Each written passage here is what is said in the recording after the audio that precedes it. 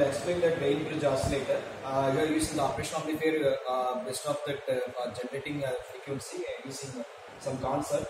Uh, here, uh, with non and this is the feedback connection here and feedback amplifier option.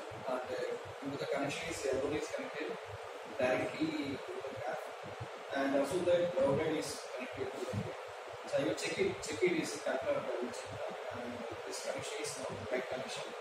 I will set in the resistance it. Uh, maybe that the maximum is uh, uh, 0 hertz to uh, 53 kilohertz. We can adjust using this uh, configuration at the table now. And I have adjusted value same like that.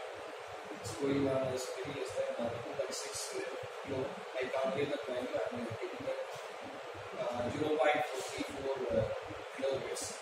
That reading is uh, 10 by 10 and also that uh, set the resistance very low. Uh, as compared to the 0 point directly grounded others are regular oscillation this is a time setting here so this is a resistor and capacitor option and this feedback connection here. So whenever connecting the output uh, to the graph this is here and check the connection. This is okay? This is right connection?